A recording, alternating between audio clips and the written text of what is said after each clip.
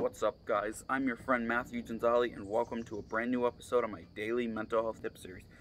Now, quick thing though, before we get started, when you're done watching today's video, be sure to check the link down in the description below for today's Reason To Smile, as well as a special written down version of today's talk I'm about to give you. Now, today's mental health tip, my friends, is to treat coexisting disorders you may have.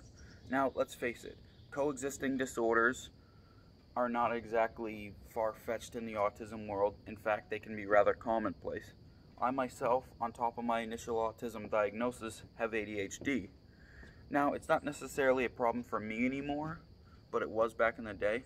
Now, this could totally be something different from you. You might have a different, more destructive coexisting disorder to deal with, and that's okay. Do you know why? Because I know you're strong enough to fight them off both fight both of them off. I apologize.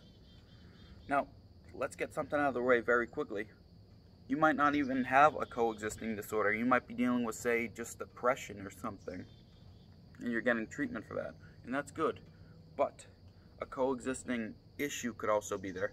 That's another source of stress on top of what's initially stressing you out. That could be a toxic family member, toxic friend, bullying, problems in the workplace, something impending financial crisis happening, what have you.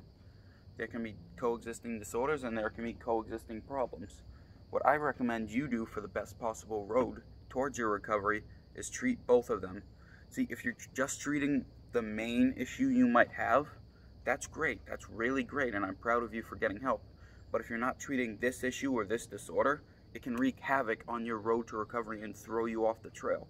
Not too far from it, because I know you're smart and can find your way back, but it can be a very big havoc-wreaking problem that could arise.